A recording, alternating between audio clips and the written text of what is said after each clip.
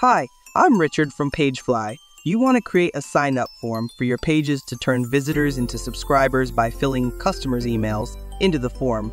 In this video, I will guide you how to achieve that by using Klaviyo Sign Up Forms app in Pagefly. To get started, you need to install the Klaviyo sign up forms on your Shopify store.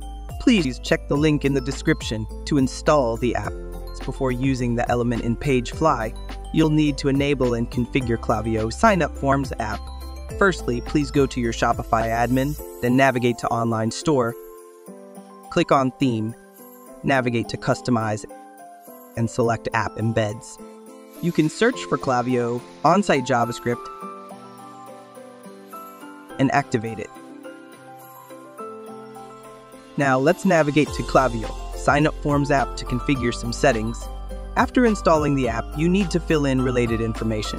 When completing all of the relevant information, you will be moved into Klaviyo Dashboard.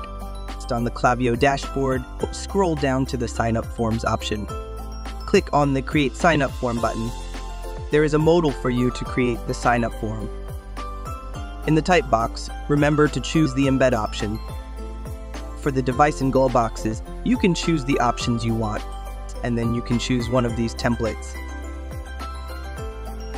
There will be a pop-up showing choose your subscribe list and click on the create form button. Click on the behaviors option and copy the code. Finally, you need to publish the form. Now, it's time to add the form in Pagefly Page Editor. Before starting to set up for the Klaviyo sign up forms element, you will need to add this element onto your page canvas. Click Add Third Party Element on the left menu bar. Search for Klaviyo sign up forms element.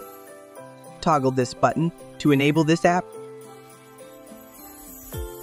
and drag and drop the element into the page editor.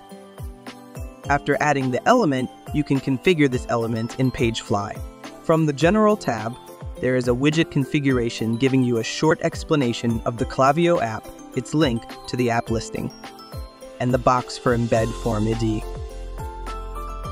Paste the ID that we copied before here. You can customize the styling like margins, borders,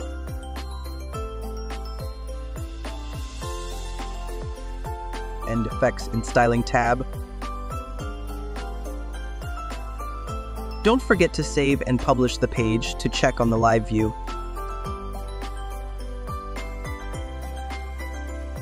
And here's the result.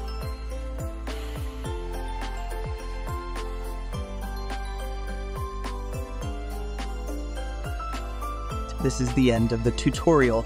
Don't forget to subscribe our channel to get more videos. Our friendly and knowledgeable team is available via live chat 24-7 to assist you with any issues. Thank you for watching.